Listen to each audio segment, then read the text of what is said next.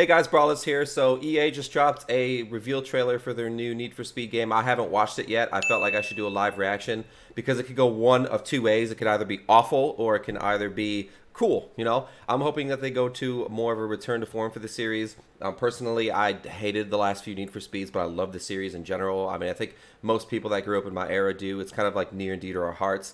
So I'm hoping they go to more of like a return to form or maybe a resurrection of, um, you know, Need for Speed Hot Pursuit, like the original one, not the shit one that they released after.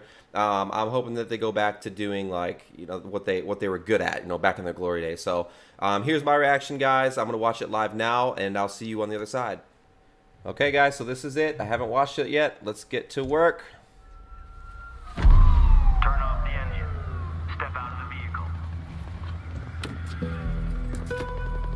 El tiempo es el fuego en el que ardemos. Nice ride. But I'm gonna need those keys Is that a right cop? now. I said right now! Every day is danger. So take no risks. Don't fuck up. Don't Miami. talk back. Is Miami. They impose limits to control us. Limits to make us blend in. Make us safe. But we own the limits. And we'll own the night.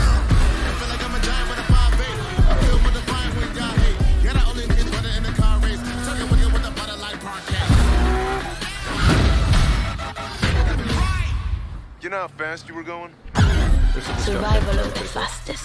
No prizes for second place. But standing out means becoming a target. They destroy, so we Cars design. are actually car They control, car damage now. so we create. Cosmetic damage.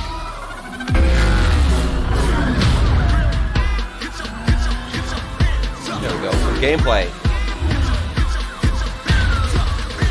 If you catch fire, run. You'll burn faster. Ah, so yeah, heat. That's what it's called. No wonder it's in Miami. Pre-order now. Fuck off! I'll never pre-order anything EA. Ever. Cool guys. So uh yeah, let's uh switch the camera up. So Need for Speed Heat. No, don't As a autoplay. gamer, you No! how frustrating Autoplay is the be when you worst. Okay. So um, I mean, it looks all right. I mean, they didn't show a whole lot. They showed some gameplay. I was hoping they would, because knowing EA, they just show up some fucking trailer that doesn't have any gameplay, anything like that. But um, it, Miami looks good. Um, you know, I live very, very, very close to Miami, so um, seeing that was pretty. I was able to pick it out pretty quick, so that's pretty cool. But um, I mean, I don't know what the game's about. What I'm really hoping that they do is they that they that they get away from doing the whole um, like social media um, bro fist, you know, rah rah rah type like fucking progression system that like the crew did and that they did in the last Need for Speed.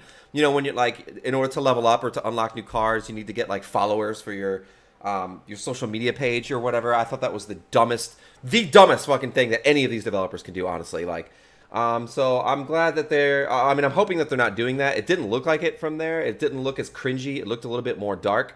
Um, I did like that there was some cosmetic damage because the last Need for Speed. I posted a video somewhere. I think it was on my uh, my other page, my personal page, but I posted a video where I ran like fucking headfirst into a wall, going like 200 miles an hour with a. I think it was a an Aston Martin uh, V12 Vanquish, Vanquish in the last game, and there was like not a single bit of damage. There was like some paint scrape, and that was it.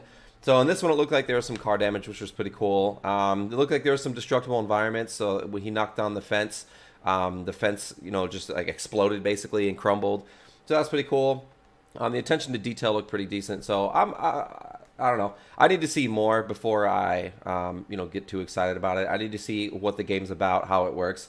I don't know why that cop got out, got out of what looked like a, a Challenger or something. He had like full body armor, um, and he said some he said some stupid line at the beginning. Um, what was the line he said? Let's go back. Let's go back and check out the line. Oh my god, I gotta go back an entire video. Um, what does he say? Es el Let's see. Nice ride. Now. Now. I said right now! What's that right now? fucking terrible. Um, hopefully, I don't know. Hopefully, the dialogue's not too cringe. I mean, honestly, I don't think anybody plays the Need for Speed games for the story.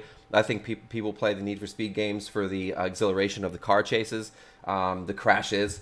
Now, I don't know, like, like, all right, I'm about to go off here, but what the fuck happened to Need for Speed? What it like what it used to be. The the game used to be about breakneck speeds. It used to be about running people off the road, whether they're the, the NPC police, whether they're like your friends being the police. You remember that shit like back in the Need for Speed days? You could have your friends play as like the cops and then they chase you down and they have to take you down. What the fuck happened to that? Like they had something similar to that to that in like I think it was Payback. I don't remember which one it was, but like they they just completely lost like all tra- like these developers are so out of touch nowadays that they don't even know what the, what what series they're making. They're like they, they even had Criterion in the last one help them make it. Criterion made Burnout, right? How do you fuck that up? You have Need for Speed and Burnout. You combine them, you make a hybrid baby, and you make an amazing racing game. But somehow they had the worst dialogue. They had like the worst, tedious, mo- most tedious missions. The graphics look like shit. Like, like how do you how do you go so far backwards?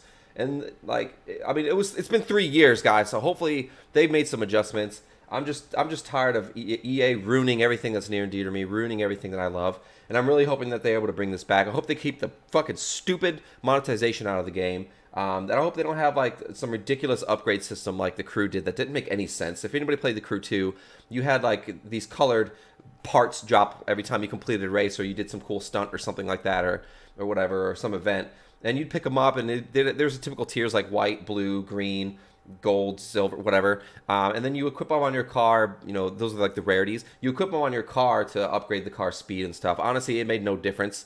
Um, it was kind of stupid. So hopefully they they allow you to fine tune your cars or do something like that. Um, so i mean that's that's all i really got guys. But I mean, the trailer overall. I mean, it looked interesting. I'm not gonna. I'm not gonna board the hype train. You know, the industrial hype train that everyone wants us to board when we see these trailers. So, uh, my advice is just take a thirty thousand foot view of it and just wait until we get more details. Um, but so far, um, I mean, it looks better than Payback. But then again, um, fucking, uh, what's that Burger King game? The Burger King kart racing game looked better than that fucking game. So, uh, but other than that, guys, that's all I got. If you guys watched the trailer, if you guys are excited about it, let me know in the comments below. Um, and we'll talk to you guys again soon. Thanks, guys.